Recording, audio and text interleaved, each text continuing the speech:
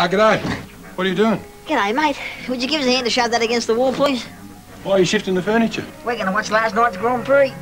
So? I recorded it on TDK videotape. One, there's a good scrap the second between Spencer. Good and- picture. Absolutely sensational.